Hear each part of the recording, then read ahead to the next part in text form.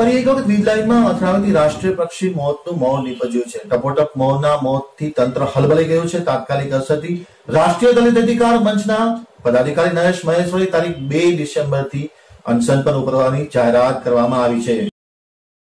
વિજય જોઈએ નખત્રાણાના પ્રતિનિધિનો વિસ્તૃત અહેવાલ. નખત્રાણા તાલુકાના નિરોણા ગામની સીમમાં બાજ પક્ષીનું વીજ લાઇનમાં અથડાવાથી મૃત્યુ થયું હતું.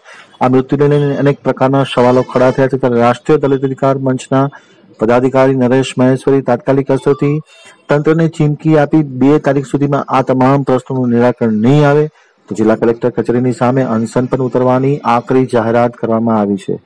આમ ન્યૂઝ સાથેની વાતચીતમાં નરેશ મહેશ્વરીએ જણાવ્યું હતું કે છેલ્લા કેટલાક સમયથી જે પવનચક્કીની વીજ છે તેમાં મોર પક્ષીઓ ઓથરાવાના કારણે મોરના પણ મૃત્યુ નિપજ્યાના સંખ્યાબંધ બનાવો સરકારી ચોપડે નોંધાયા છે, પરંતુ એક પણ બનાવની તપાસ થઈ નથી.